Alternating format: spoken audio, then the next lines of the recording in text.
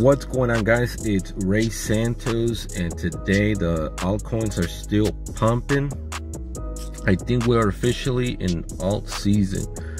So you can get 20x gains 10x gains even 50x gains if you hold on for at least another year. Be aware of that all right?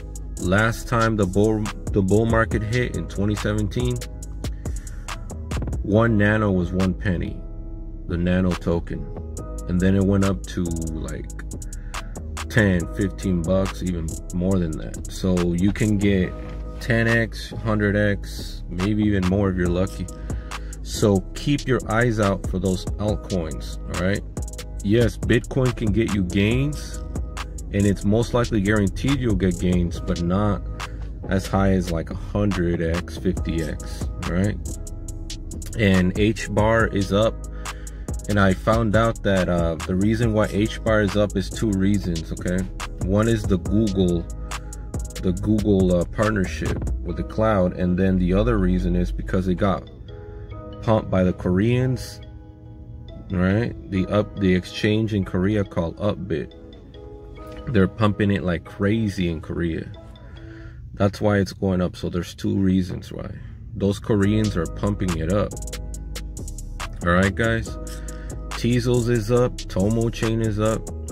Another another token that's up right now is um, the Voyager token, B BQX.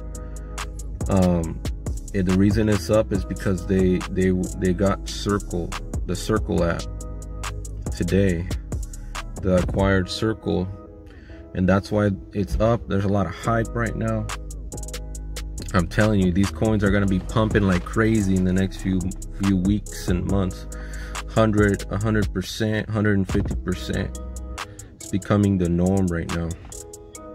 I want to get a give a couple of shout outs to some people that comment in my videos.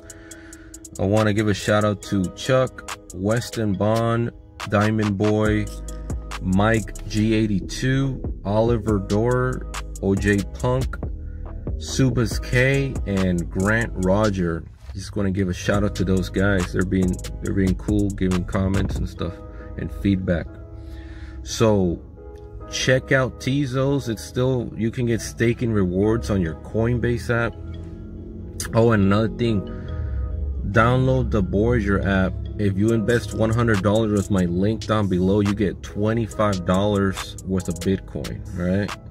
So check out the Voyager app. It's a cool interface. The, the fees are lower than Coinbase. All right, guys. So the bull market is kicking gear like I told you. Bitcoin's over 10K.